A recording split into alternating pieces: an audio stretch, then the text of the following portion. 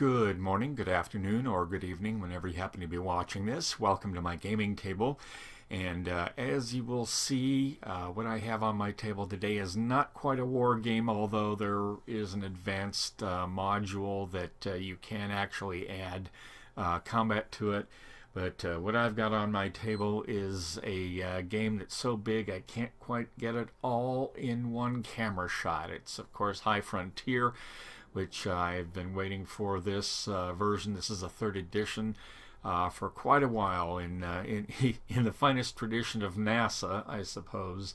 Um, it was 18 months late in uh, making the deadline in getting here, but I wasn't too worried about it, uh, largely because I don't think I've ever had a Kickstarter delivered on time. Not that I am any expert in Kickstarter or have done that many, but that's that's just the nature of the beast. Things go wrong. What can I say? So I've got everything here set up. And uh, what I thought I would do is just uh, take you through the steps I'm taking to learn the game, um, other than read the rules, which I have already done. I've read about the first, I think it's about 20, the first 20 pages or so of rules are the basic game and it's really not all that hard. I think uh, High Frontier has gotten a, a reputation of being a difficult game from number one, this impressive and intimidating looking map that uh, could double as a piece of art. And I might add, this is the small board that I have uh, that I have put on here today. And also because uh, the first two editions was the uh, the rule book written by the designer Phil Eklund who is a rocket scientist, and for better or worse, most of us aren't rocket scientists, and he basically wrote it like a rocket scientist. Uh, it's written like a technical manual. But this uh, new man, this new third edition kind of cleans that up a little bit. Uh, they do have this in the box, which is the uh, read this book first manual, and I'm trying to figure that one out. I kind of I read through this, and it didn't tell me uh, a whole lot about the game. Just some really basic concepts that were actually explained much better in the first rule book, which is the uh, the High Frontier Colonization book. So let me show you how I've got this set up, and we'll do part one of this experience, which is going to be going to the moon. Okay, so starting up here, I've got my, uh, uh, I don't know, this is a sunspot table or something. There's a lot of different operations that take place on this board. There's the politics cycle, there's the sunspot cycle, and then there's the exploitation tracks. And I've got the little beads set up on the different uh, type of uh, outer worlds that uh, that you have to keep track of. I've got this full of the water discs and I've got this full of the dirt and uh, miscellaneous discs. I have got the basic fuel strip set up with a bead on the net thrust, uh, a regular water tank as a counter on the uh, uh on the uh, what is that? I guess this is the total mass of the ship, and I think it's what that is. I've got a, a, a figure for water and for dirt. And the reason I picked the flat disc instead of the beaded disc for down here is at some point this is going to have to go on top of there like that. So that's just there waiting. I have got my nation picked out. I'm going to be the ESA. Uh, the reason I did this is I'm going to be playing this solitaire and uh, I'm not really using a set of solitaire rules. I'm just kind of sandboxing this right now and uh, most of the other nations have advantages that uh, are great in multiplayer games. And this one has uh, uh, power sat in geosynchronous orbit, so they have a plus one thrust to any spacecraft that can be pushed, which is indicated right here. And so I decided I can take that and make sure I buy technology that can be pushed. I have my little thing full of my different colored markers here, my claim discs, and freighters and Bernals and all that. I probably won't get to Bernals or anything in this game, but we'll see. Then I have got the Glorian Venture cards set up over here. It will probably be a while before I get to them. Then I've got the thrusters, the robonauts, and the refineries all ready to go. Um, I have got this empty little thing here. I'm going to use some of my beads or my centimeter cubes and each time I finish a year-long turn I'm just going to uh, put one of those in there like that so I can kind of keep track how many turns I use. And there's one more thing that I need to uh, show you that I did. Um, on the uh, basic fuel strip card, there is an order of play, but uh, I'm going to be moving around back and forth, and I really wanted a play aid card, so I made a uh, I made a High Frontier basic game play option sheet which just gives you your choices and what they do. I printed this out on a piece of cardstock. And if this looks really enticing to you, go to the Board Game Geek entry for High Frontier 3rd Edition, and I have posted it there. So uh, if you want your very own copy of this, feel free to take one. So I've got this at the ready, and uh, I'm just going to lower the camera, and we will start prospecting in space. Now, having said that, uh, let's take a look at the three cards that I can buy on this turn. Okay, here are my choices. Um, I have this thruster, which uh, will take uh, give me five uh, burns at a cost of two each, which is not bad. Um, I have the Robonaut and this is also doubles as a rocket. It's a little more expensive to run this one. I get five burns and it can be pushed. Uh, this other one can be pushed as well. That's what this little arrow means, so my ability would come in handy. So uh, that would give me an extra uh, bit of thrust. But this one costs four, but it doubles as a Robonaut, so that one's kind of attractive. And then we have a refinery here and a refinery will do nothing uh, while it's on Earth, while it's in orbit, but once I get it onto the moon, um, I can trade this in with a along with a Robonaut, and uh, then I can uh, build a factory and start opening up my own filling station on the moon. So, because the uh, my character card here, my nation card, also operates as a thruster, albeit a highly uh, inefficient one. It's a 10-8, which means I can have 10 burns, but it's 8 fuel units per burn. Uh, it does have a human crew, which will protect me against glitches in a, in a uh, in the advanced game. But uh, basically, this is uh, what this is is a big dumb booster. Uh, so I'm going to forego the thruster and I will put that back in the stack.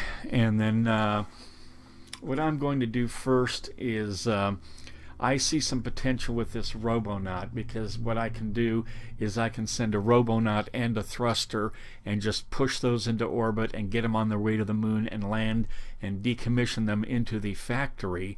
And uh, I, I won't have to buy a thruster because this is two and one and then this this will cycle back into my hand after I've built that. But that's probably 10 years down the road. You really have to plan ahead in this game uh, from everything I've seen. Uh, the refinery this looks like an alright refinery uh, so we'll we'll see what's what's going to happen.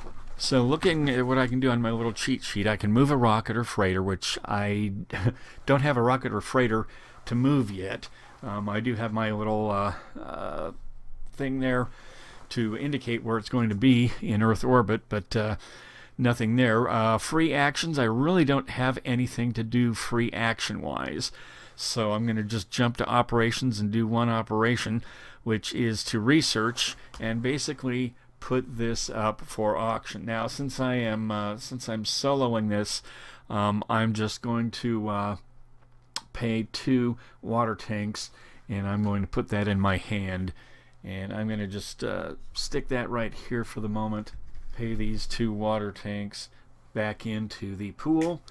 And I'm going to place a cube in my little dish and that is turn one. See wasn't that easy? Alright so now I have my thruster and I have my crew and these are permanent. You can't uh, decommission these or cash them in. You have to you have to keep your your basic astronauts. Um, So now, uh, as turn two dawns, I have some choices here. First of all, I can't really move, not, got nothing to move, and uh, none of the free actions, uh, other than discarding a card now, uh, are open to me, uh, which is kind of silly for me to discard that, seeing as how I just got it. So I'm going to have to perform another operation. Now I have two choices here. Uh, this has a mass of 2, and I have two water tanks left. So I could boost this into a low Earth orbit where it will basically sit and wait. Because, uh, like I said, I want to take a refinery with me so I can start making fuel for when I send people to make a space colony.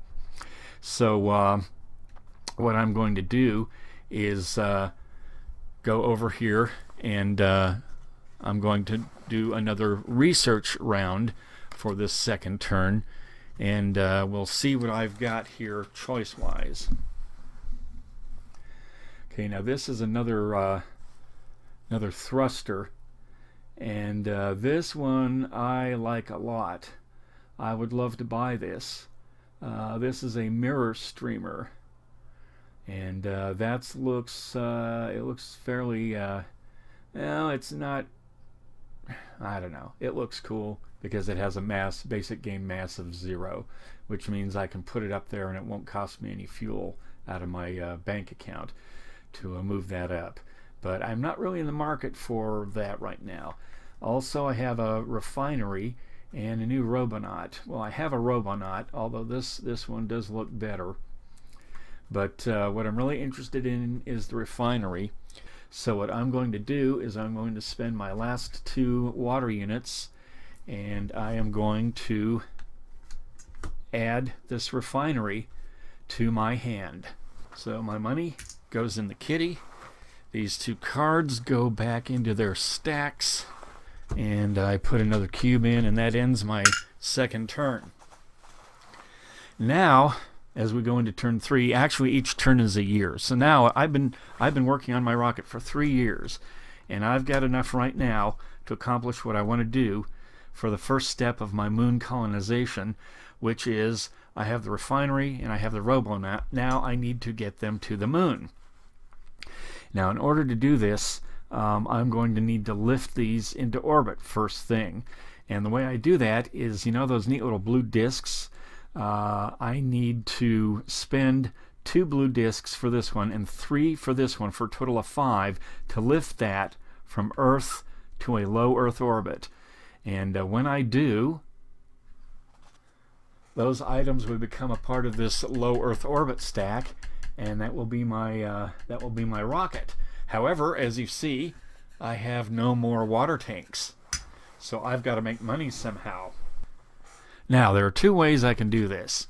Um, I can, as an operation, take two water tank points from the uh, pool every turn which uh, it's going to take two and a half years to finance this. Uh, I may be able to make that happen a little bit faster, but I will show you that next year. So for this turn, since I have absolutely nothing to work with, I'm going to take two uh, water tanks. Let's end that turn. Three years have passed. Uh, now, what I am thinking of doing here is I could wait another year and then another year again. That will give me six, in which case I can boost these into orbit and have one left over. But I think I can save a third year if I take these two and buy a piece of technology. And what I'm going to do is I am just going to grab this Robonaut here and I'm going to buy it and add it to my hand. And now that I have a hand size of 4, I can't do that anymore. Let me pay for that. Um, I can no longer do that because my hand is, is full and I need to be able to do stuff with that. So if I move these guys over to my uh, low Earth orbit stack, uh, that would take care of that problem. But uh, uh once again, I'm broke. So let me end the year. So that was year four. Now, year five, um, I still am very limited in what I'm going to do, but what I'm going to do is uh, I am going to go to the free market. That means I can sell a white card back to the deck for five water tanks. So I just put this on the bottom of the Robonaut stack, which I'm going to do right now.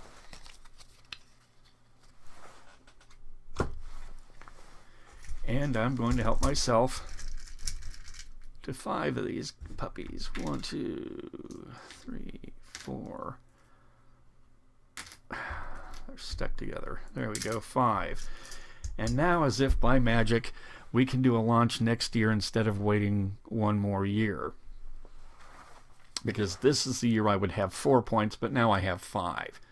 So I can lift these into orbit, but I'm still going to need to make money, and we'll discuss that as soon as I get these guys into low Earth orbit.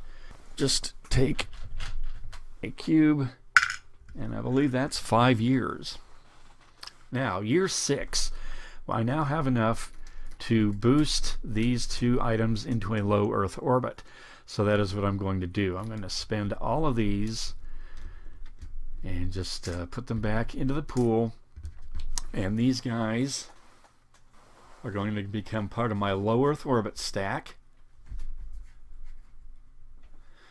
And uh, I kind of need to do something here also while I'm here. Uh, now that I'm building a spaceship, I have to measure the weight of the spaceship. And that's where this comes in. So I'm going to have a spaceship with that is one, two, three, four, five. This is the dry weight of the spaceship. That means without fuel. And I get that number obviously from mass 2 and mass 3. And as you see, uh, one of the little ingenious things about this game is as you add fuel, fuel adds mass, and as you get heavier, uh, you get less efficient, and uh, your burns start becoming more costly because you're you're pushing more mass. So now we've got those in low Earth orbit.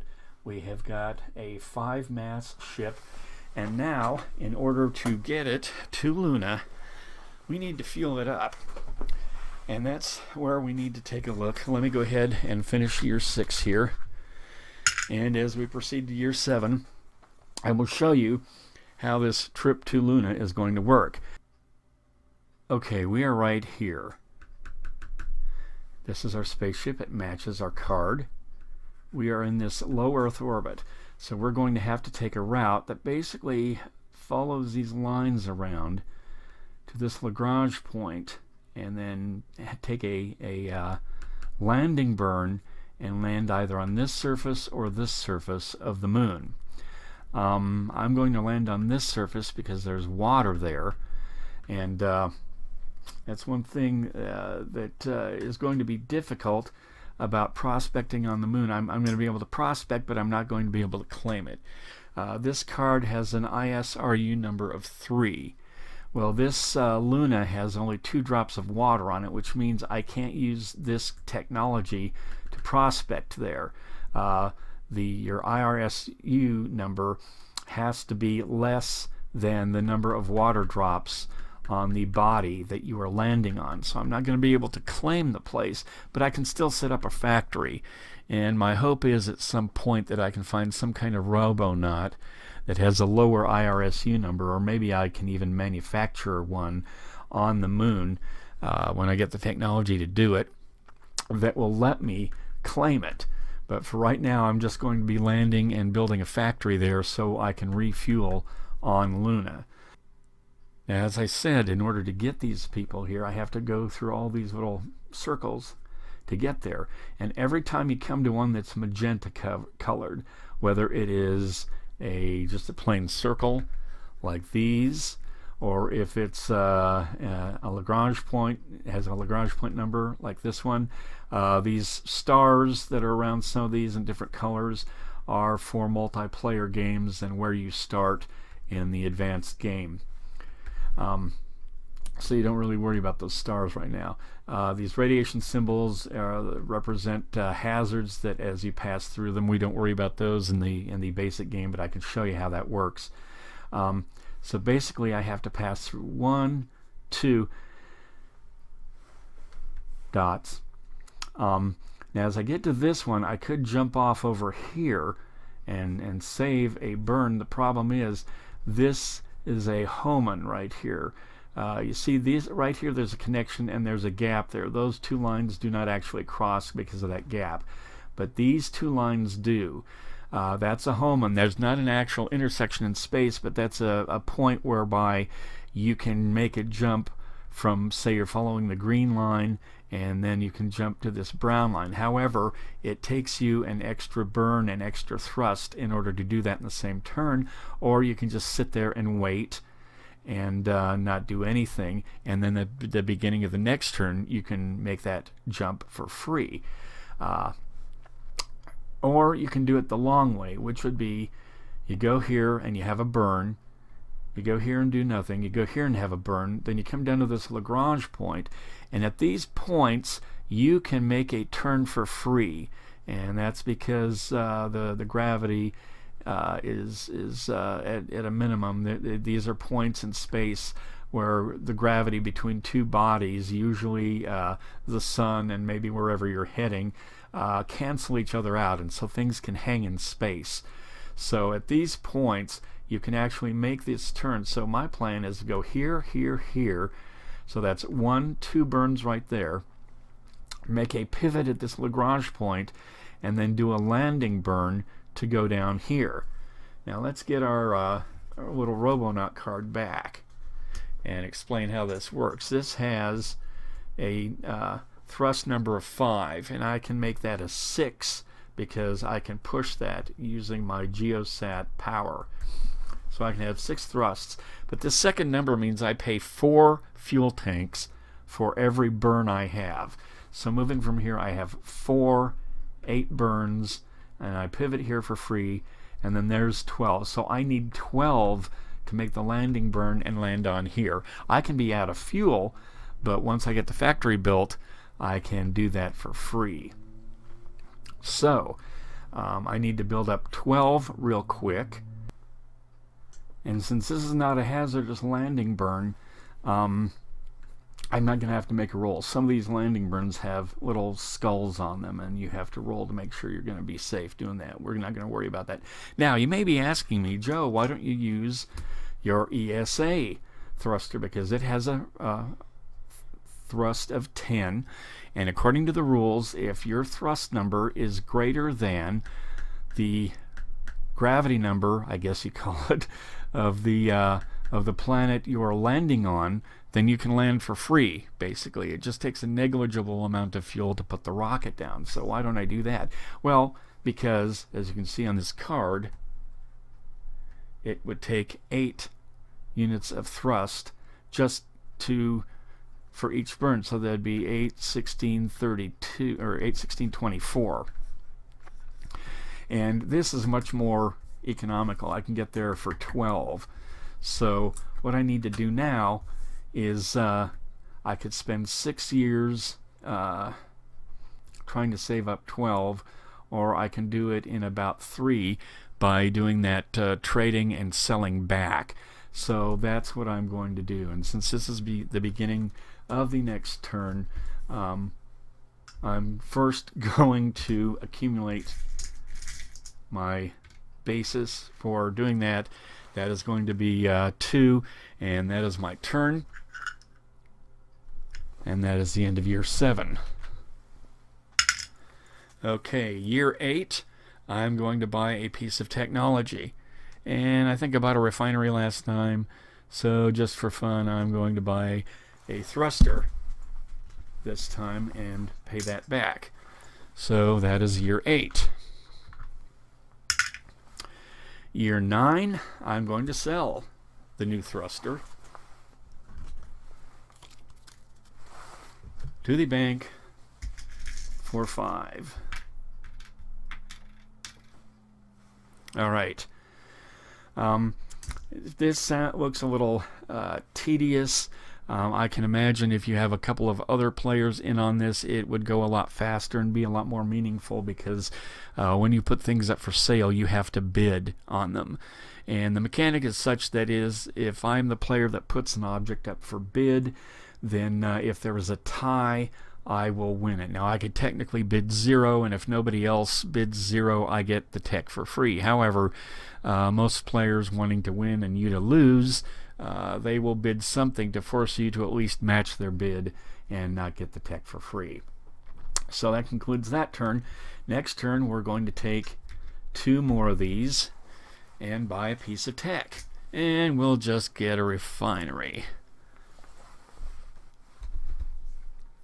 Doesn't matter which at this point. And uh, what's that, year 9? Okay, 10th year, we sell it back. It goes to the bottom of the stack. And we get another three, four, five. This next turn, I'm going to buy tech again. And we'll just pull a refinery. End of turn. Next turn, sell refinery.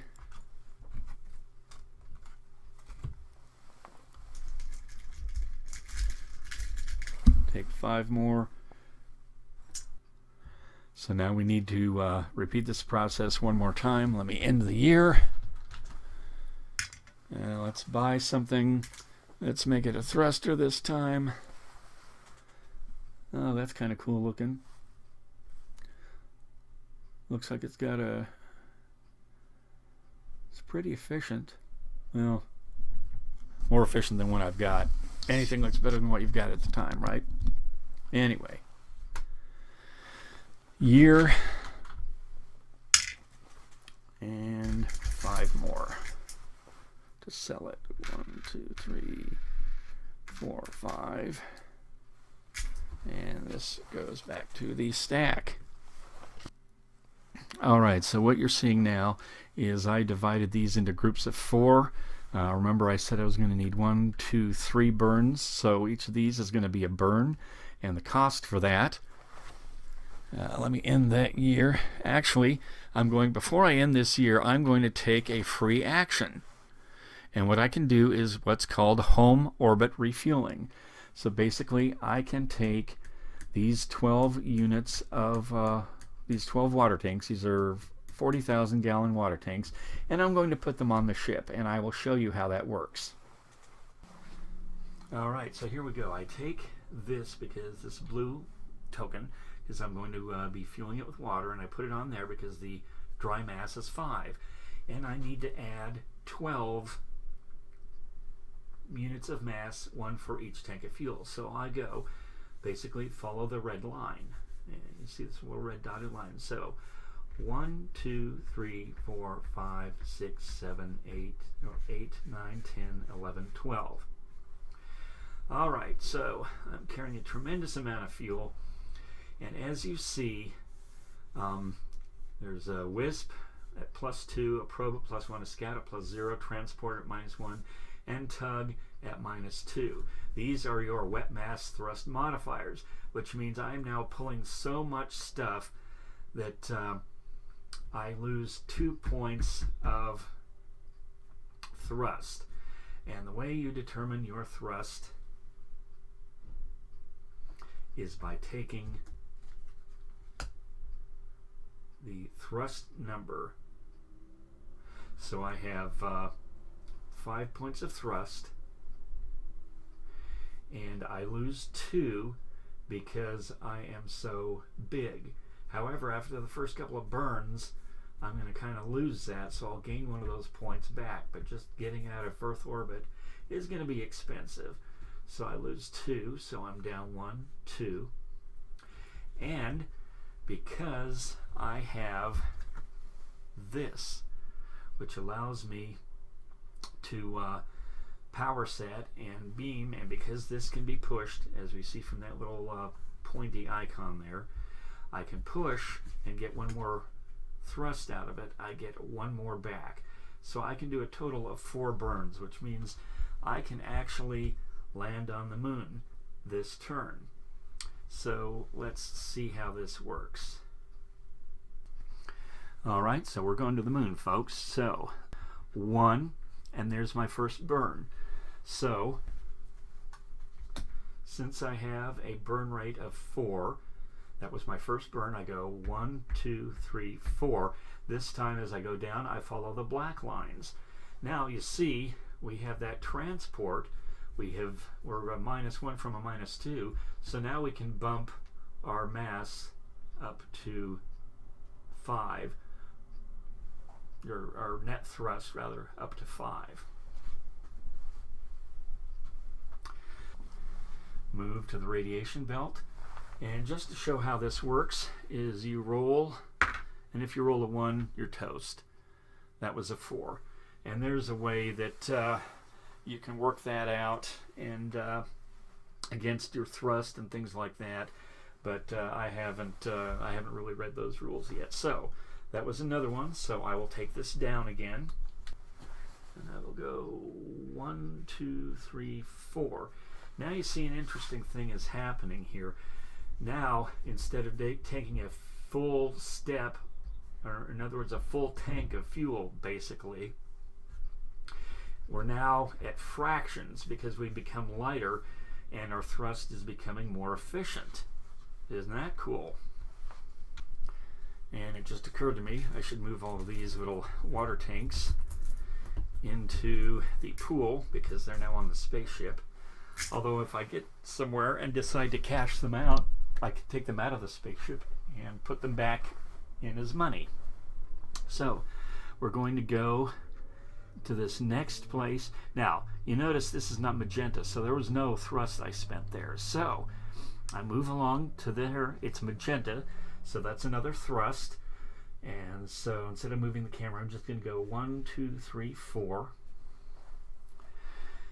And then I'm going to coast to this Lagrange point. point and if I only had one, two, three thrusts, I would stop there. But since I have five now, I can keep going. So I will come to this lander burn and I will spend one, two, three, four, and touchdown. I am on the moon. Hooray, hooray. Let's take a look. I have one, two, three, four burns left just because I have become more efficient. And also, uh, I am now, my weight is down to scout, so I get that minus one back. So now my net thrust is up to six. That ends my turn, and that was a busy turn. And why don't you? You may be saying, "Well, now why don't you? Why don't you turn those cards in, and uh, start your colony. Well, that would be industrializing, and that is an operation, and you can only do one operation. And uh, my operation this turn was to uh, sell, and once I sold, that allowed me to uh, fill up the uh, uh, fill up the spaceship as a free action, and then I was able to move because you're not tied to any order in which you do moves, free actions, and operations. I don't want to move. I'm going to leave the guy right there because he really he can't get off because now uh, with that gravity number of 9, uh, this thruster that we have come down with is only a 5, so there's no way he's going to get off of there. So what may have, luckily we have robots there, otherwise it would take these guys to get off of there, but these guys are going to go up next so I can form a space colony but we're going to have to go through the cycle of uh, making money and uh, doing other things. so, what I'm going to do, uh, what kind of operations are there? I am going to industrialize. So, I am going to take my Robonaut and my refinery and I'm going to decommission them. And when you decommission them, they just go back into your hand. There's actually a place on the other side of the board where you're supposed to put your stuff, but I'm, I'm keeping them right here just because I'm trying to play the game and be cameraman and, and color commentator at the same time. Then I go through here and I find my my uh, block here. Get my green block. That is a factory. And uh, I put it on the moon. And now I have a factory that rocket ship has been decommissioned, so I'll just move him back to low Earth orbit for the time being. And uh, we have gotten to the moon and I have just built a filling station there. So now when I send my colonists there, um, I will have to really load that ship up. What I will probably do is, since this is a cheaper thruster, is I will build a rocket with two thrusters. I'll have this one and this one. This one, with the uh, higher efficiency, will take the ship out of orbit and to the moon and drop off the colonists, and that will form a space colony anyway, that's you, you see how, how it works. You have to really, really plan ahead. Um, this uh, this game really rewards planning and thinking ahead, and uh, it is really easy to get stranded out in space. I don't know that from experience, but I know that from reading the experiences that, that other people have. So I'm going to just leave this here at that. We are on the moon. We have our filling station ready to go. I have uh, two units of money or two water tanks to uh, start the, the next phase of uh, working toward getting that uh, getting that colony out there. Also, now that I have that factory, I can start uh, doing things like uh, building the black side of the cards. unfortunately, this is an S and this is an M so I cannot build this on the moon and this is has a V on the back side of it so I can't build that kind of tech either so now I may have to start watching the the stack for some kind of tech that I can build so that's a look at how High Frontier plays, uh, the basic game anyway, with a, a, little bit of the extras with the, the radiation zones there. Um, I'm going to keep playing this. I'm, I'm going to colonize Luna and try and get some people past uh, Mercury and Venus and Mars and maybe send somebody to Halley's Comet. I don't know. It's that that'd just be a really cool thing to do. I think within the the confines of the game. And uh, maybe I'll do an AAR at the end just to show what I was able to accomplish just uh, dinking around and, and learning the systems. And I may change things and, and add stuff as I go uh, add different modules just to, to make it interesting and uh, maybe I can give an update then. So uh, that's it for now. I hope you find this helpful. Um, it looks intimidating like I said but uh, that basic set of rules is 20 pages and it's uh, it's no more difficult than, than any other game I've I've got in my collection. It's a, a very simple set. It's just uh, it's scary because it's rocket science, and we've used rocket science for decades to intimidate people, the, the term anyway. So, uh, hope you enjoyed this. If you did, please like it. If you want to see more like this or uh, check out some of my other stuff, uh, which focus mostly on uh, war games, uh, please subscribe. And uh, as always, may all of your die rolls be appropriately high or low. Thank you for watching.